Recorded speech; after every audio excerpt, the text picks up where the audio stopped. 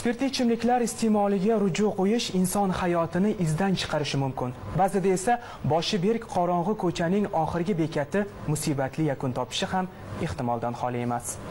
Qashqadaryoda ichkilikka mukkasidan ketgan fuqaro qotillikka qo'l urdi. U mast holda turmush o'rtog'ining hayotiga zomin bo'ldi.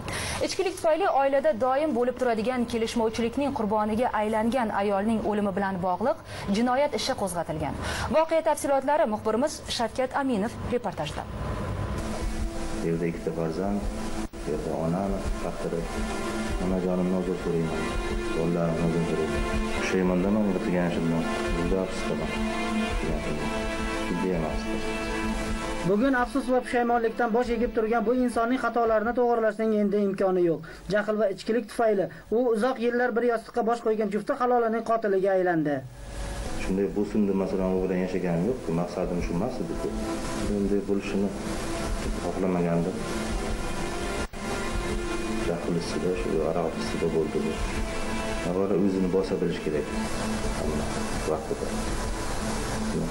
Tavsiya qilgan bo'lardim. Keyingi pushaymon o'zingga dushman deyman. Joriy yilning 17-iyun kuni Qarshi tumanining Pochta mahallasida yuz bergan fojiada kelishmovchilik ortidan chiqqan janjal tufayli er xotinining ko'ksiga pichoq sanchdi. Jinoyatga esa yana o'sha ichkilik, bo'yni mehnatga yor bermaslik sabab bo'ldi. so'raganman shu oila qanday oldin kiyganmiz ketganmiz hech biron marta noto'g'ri ekanligini bilmaganmiz oldin murojaat qilganmiz lekin men bir yil ishlagan paytimda bir marta murojaat bo'lmagan. Jamoatchilik bilan kelganmiz. Oila tinch deganmiz ko'p ichishi bu ishsizlikdan bo'lyapti. Mana akasi aytdi deyman ish taklif qildim deyapti bormagan.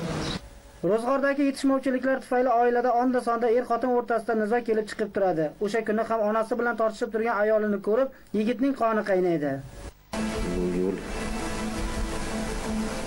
Juda noto'g'ri yo'l.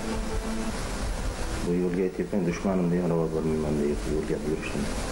Oqibatlari nima olib kelayotganini Mazkur holat yuzasidan Qarshi tuman prokuraturasi tomonidan jinoyat ishi qo'zg'atilib, ayni damda tergov harakatlari olib borilmoqda. 2020 yil 17 iyun kuni Qarshi tumani Qoshton mahalla fuqarolar yig'ini Juma bozor ko'chasi 26 uyda yashovchi fuqaro Haqberdiyev o'zining qarindoshi Qahhorovning xonadonida spirtli ichimlik iste'mol qilib, mast holatda soat taxminan 15:30lar chamasi o'zining yashash xonadoniga qaytib kelgan vaqtida turmush o'rtog'i Mirakova hamda onasi Haqberdiyevalar o'zaro og'zaki ravishda tortishib turganligini ko'rib, bundan jahli chiqib, turmush o'rtog'i Mirakova bilan o'rtalarida muqaddam kelib chiqqan janjallar uchun o'ch olish maqsadida ularning yoniga borib, xona ichida turgan oshxona pichog'ini olib, turmush o'rtog'i Mirakovaning old ko'krak va qorin sohasiga bir necha marotaba sanchib, uni qasddan o'ldirgan. Natijada Mirakova olgan tan jarohatlari sababli hodisa joyida vafot etgan.